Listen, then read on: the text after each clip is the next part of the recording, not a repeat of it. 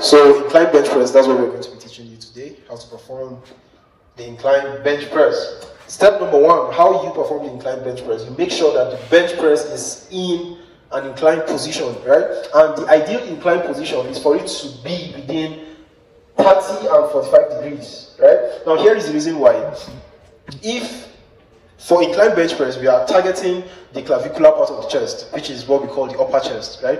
And if your bench press is not inclined enough within the range of 30 to 45 degrees, you are going to, to channel the pressure to a different part of your body, right? Now, if it is beyond 45 degrees, you are going to be targeting the front delt instead, instead of the um, clavicular head, the upper head of the chest, right? And if, if it is be below 30 degrees, then you are bringing down the pressure to your sternocostal head, your abdominal head, whatever the case may be.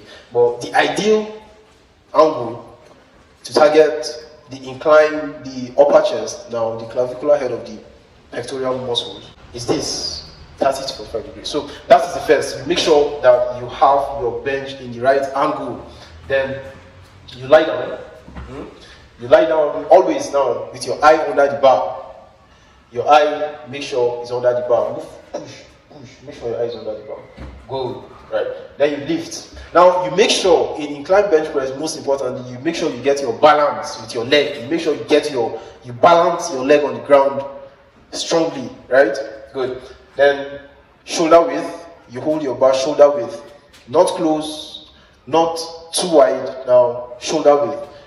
Right. Then you lift up now, here is the thing. Now, here is how incline now is different from flat and, and decline. In incline, you drop the bar at your upper chest, like the upper. In fact, what I do sometimes is I raise my head, right? I raise my head, I raise my head up like this, and I drop the bar as if I am pressing my neck, right? So you raise it up and bring it to this level, this level. We want to target the uppermost part of the chest right? This level. Then you we want to pay more attention to your elbows as well. You make sure that your elbows are pointing diagonally, not straight now like this, right? So now you lift, you lift, you see the elbow, it's pointing diagonal, right? It's not pointing straight. Let's protect the shoulder now. Now up and down, you drop at your uppermost part of the chest, close to your neck. Yeah, up down, right? So your head is up, you are dropping to the uppermost part of your chest, your elbows are diagonally, diagonally faced, they are facing diagonal position,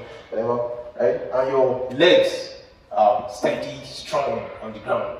Steadily strong on the ground, right? Now that's the incline for you. The incline, like I said earlier, is used to build the uppermost part of the chest, hmm? the clavicular head, right? So step number one, don't forget, you make sure the bench is in appropriate position between 30 to 45 degrees.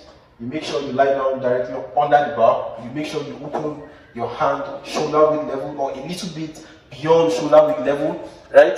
Then you bring down to your chest, to your uppermost chest, right? So if you're not subscribed to this channel, you're going to do yourself a favor to click on the subscribe button and you're going to, you know, get tutorials like this every now and then. And if if you have any question surrounding fitness, bodybuilding, weight loss, whatever, we have a link in the, in the description box where you go, click the link, ask your questions, and we're going to get back to you with a personalized answer. So, see you.